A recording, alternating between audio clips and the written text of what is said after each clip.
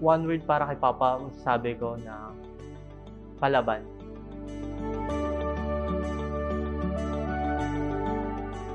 ...2013. Bago pa lang ako nun sa drum and lyre school namin. Tapos, unang drums na binili niya sa akin nun, parang bago lang. Tapos, pinagkasya lang talaga sa budget namin at that time. And then, dumating na yung first competition namin.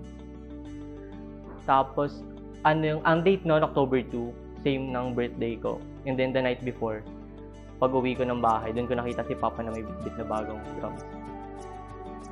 Ayun yung hindi ko makakalimutan sa kanya kasi doon niya pinaramdam talaga sa akin na doon ko naramdaman talaga yung support na laging sinasabi niya sa akin na pag may pangarap ka, magtrabaho ka, mangarap ka kasi kung wala kang gagawin, humihiling ka lang.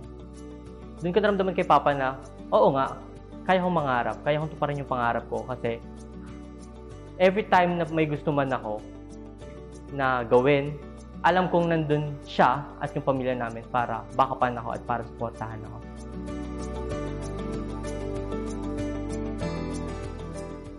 So, Papa, sa lahat ng tatay, tatay-tatayan, tatay of the friend group dyan, uh, thank you kasi nandiyan kayo para malapitan, makausap, mapagkwentuhan ng mga kwento sa amin, um, hinaing, at mga problema namin.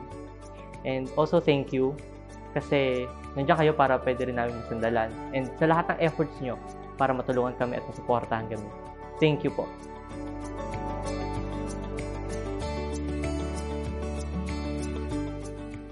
Happy birthday!